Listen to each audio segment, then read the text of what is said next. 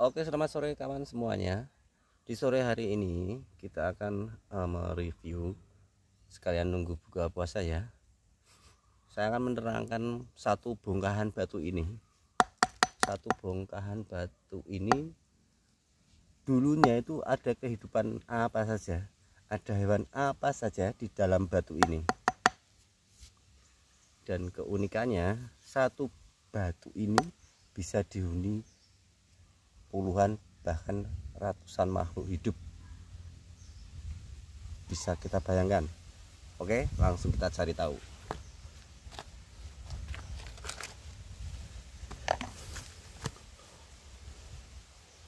Untuk yang pertama ya eh, untuk yang pertama.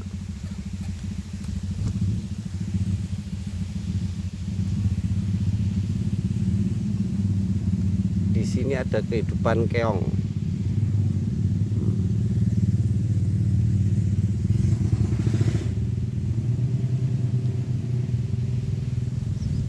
ada kehidupan keong ini nih ini keong.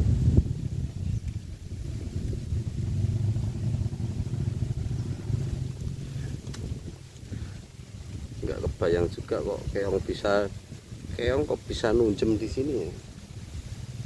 Nah ini mungkin zaman dahulu itu di kampung saya tempat tinggal ini dulunya lautan kemungkinan ya soalnya ini ada keong, keong laut oke lah kita kita utek-utek saja ya. Kita kita ambil saja dulu.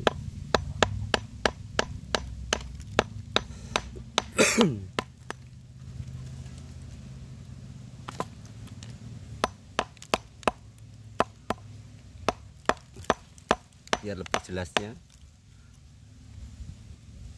Hmm. ini dulu.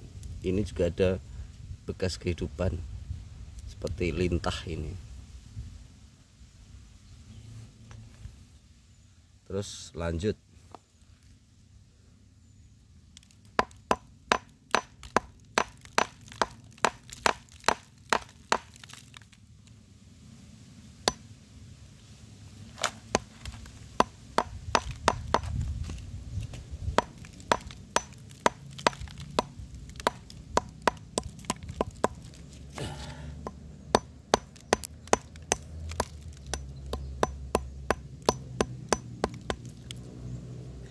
jadi pada zaman dulu mungkin ini keong ini hidupnya di laut ini.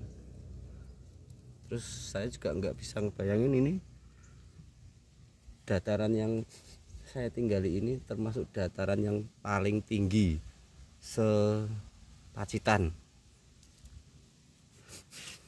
karena saya berada di dekat Gua Tabuan yang letaknya itu di barat kotanya Pacitan. Nah, ini ambil ini.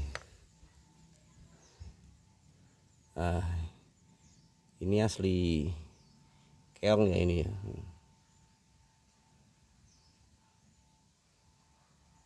Tuh, keong ini. Ini tadi di dalam batu wah amit-amit jabang bayi ini tangan kok sampai kayak begini? Ya maklum karena duleki batu dan duleki tanah ya begini. Tapi nggak apa-apa tanah dan batu itu suci. Nah gini begini. Satu keong. Lanjut lagi kita bongkar. Apa kira-kira isinya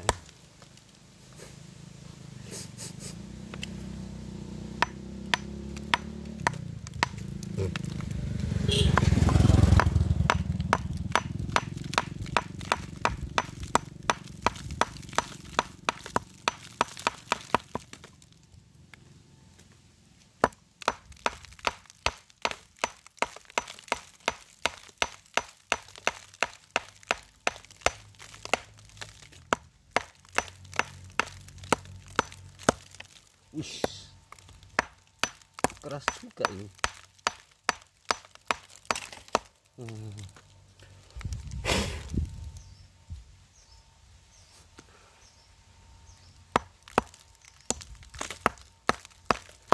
Ừ. Đó. Ừ.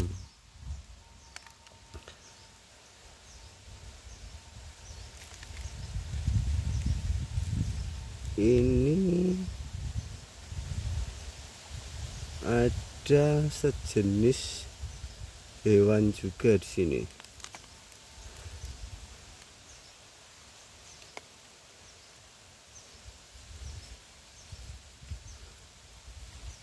Ini tulang. Mirip banget tulang. Kalau ini cangkang yang udah keropos terus ini kayak juga ada telur di sini. Terus yang sudah sudah membatu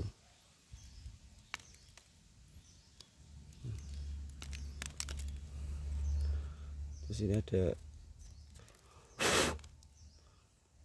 kayak apa itu? Batu keretip ya batu keretip itu batu lintang.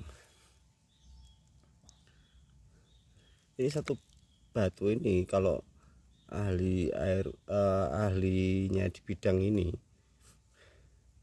pasti bisa nemuin banyak banget fosil-fosil di sini harus undang ahli arkeolog ya ini ya. Dan sekarang itu kalau model-model begini kalau dipotong ini ini juga bisa buat hiasan. Dipotong pakai gergaji bisa buat hiasan dinding. Hmm. ini juga ada ini kehidupan zaman dulu tuh. Jadi unik banget ini. Satu bongkah batu ini memberi gambaran kehidupan pada masa lampau.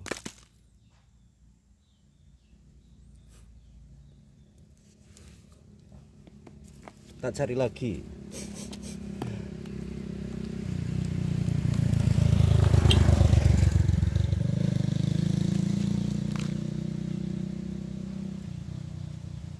Jadi untuk uh, karakter batunya itu batu kapur terus paling banyak itu ditemukan di pegunungan pegunungan saya tinggal ya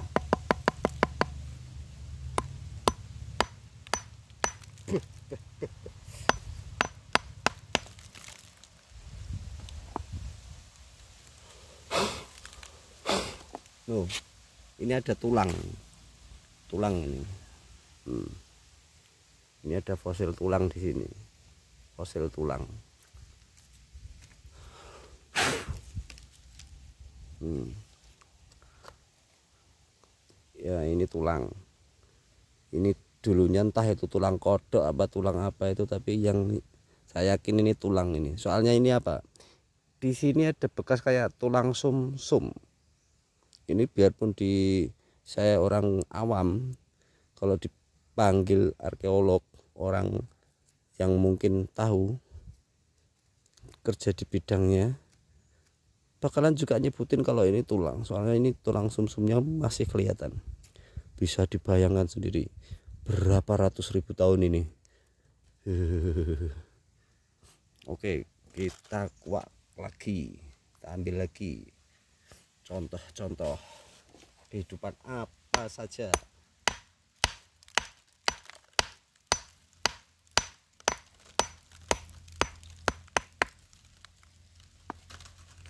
wah mantap kalau ini. Ini juga ada pembuktian ilmiah. Hmm. tuh di sini. Ini tadi sompelannya. Ini tuh kayak modelnya itu kayak ini apa? Terumbu karang ya ini modelnya itu kayak terumbu karang yang membatu. Hmm. terumbu karang yang membatu.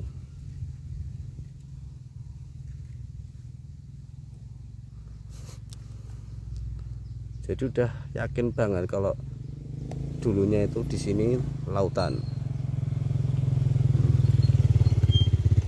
di sini itu lautan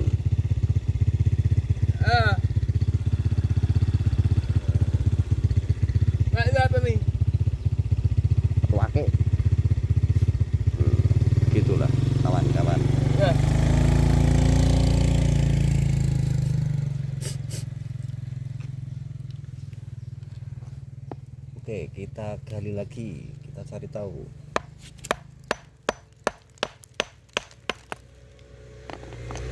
Eh.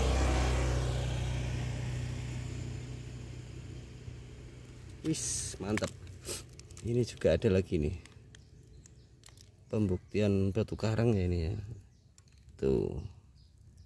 Asli fosil yang sangat aduh. Biarpun saya itu nggak sekolah di arkeolog itu tapi saya itu suka ini. Soalnya ini kaitannya juga sama batu akik batu cincin. Biasanya kalau begini buat-buat tuh. Jadi ada mengebentuk kayak ini apa? Stalagmitnya itu benar-benar stalagmit alami. Hmm. Mantap. Oke lagi kita kumpulin di sini dulu. Kita cari lagi.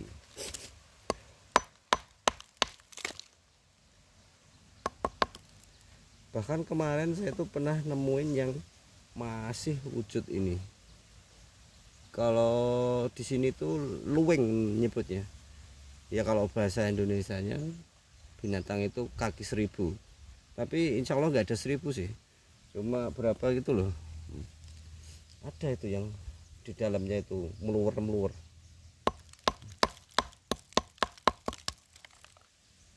hmm. Ini lagi. Jadi ini batu. Oh tadi masuk di sana ini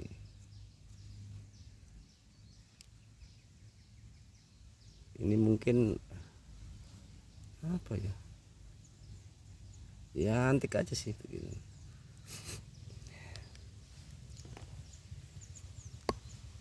Lanjut lagi kita cari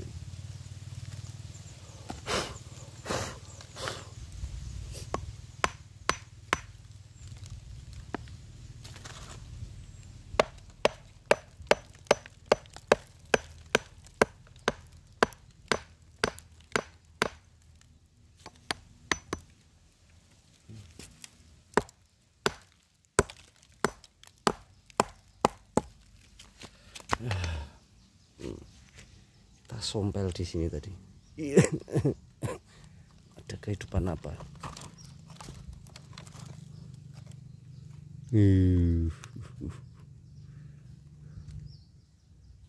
Memang antik dan unik sekali. Ada ribuan spesies yang hidup pada masa lampau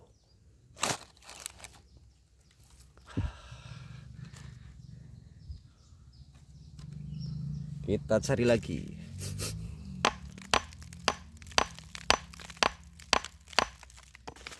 ini tak radain ke sana nanti kalau nutuk HP malah nggak jadi di video nanti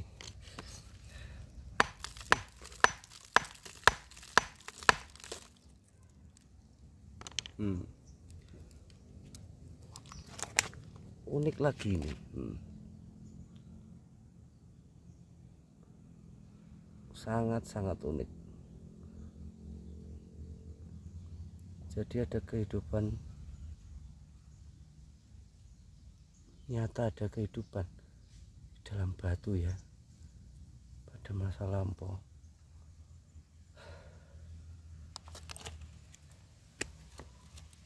Sungguh sangat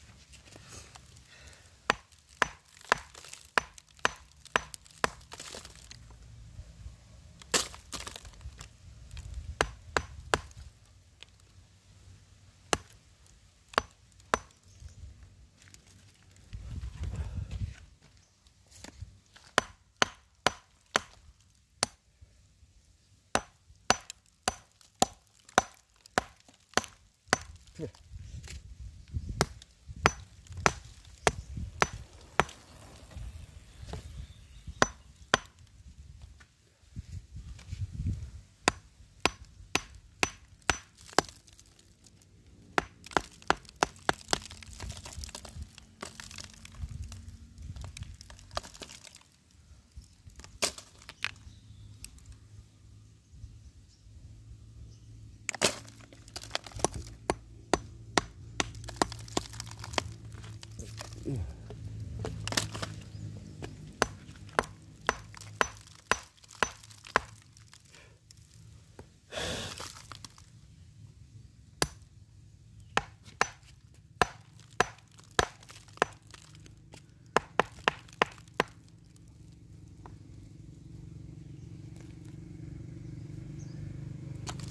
Unik dan menarik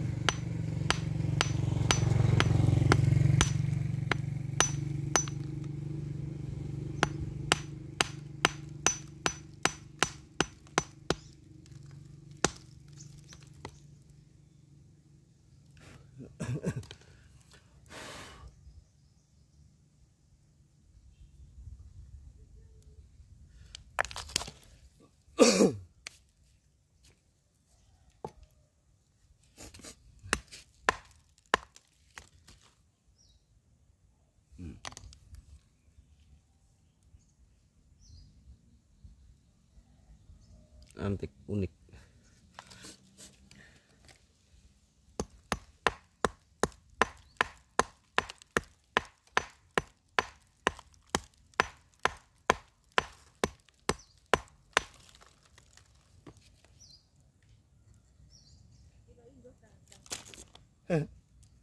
Jarang deh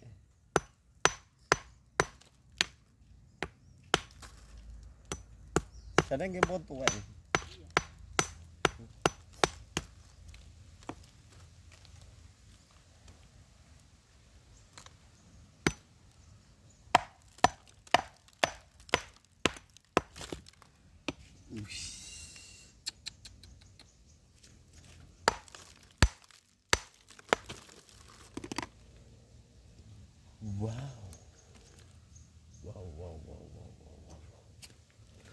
Amazing.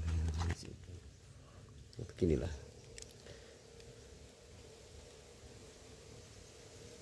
Banyak banget hewan malata ini.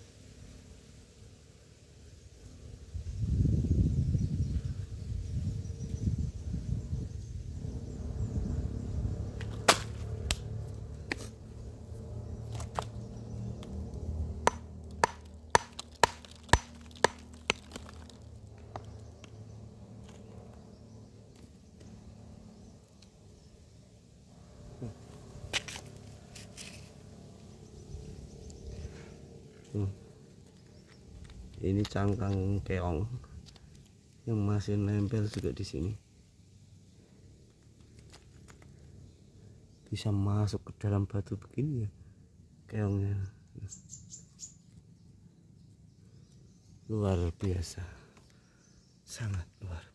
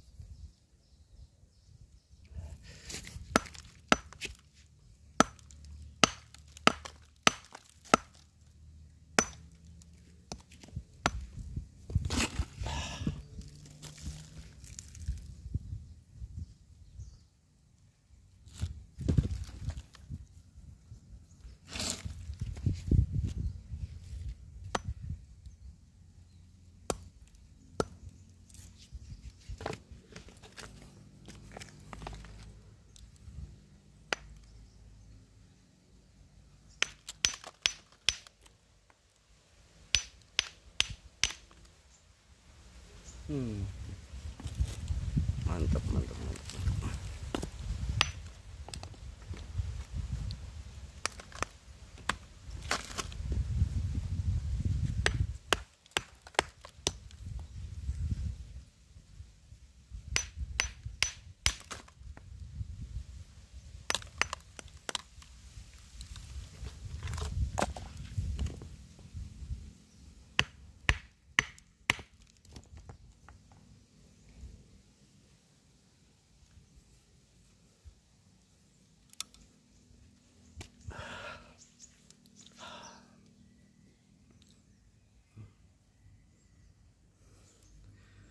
Batu-batu fosil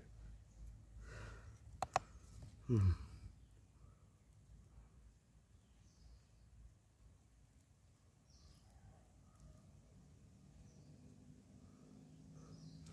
jadi kalau batu segini tuh ada semua nanti nggak kebayang jadi kalau isinya itu dalamnya juga modelnya itu kayak begitu.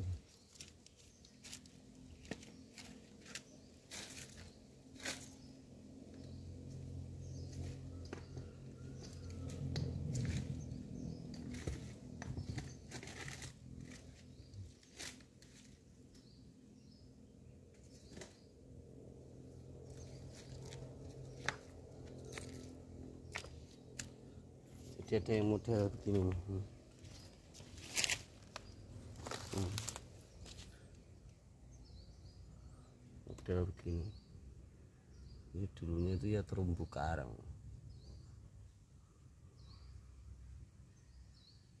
Dulunya saking proses alam yang perlu waktu jutaan tahun ya.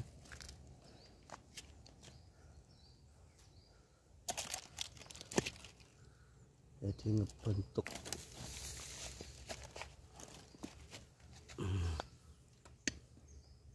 dan membatu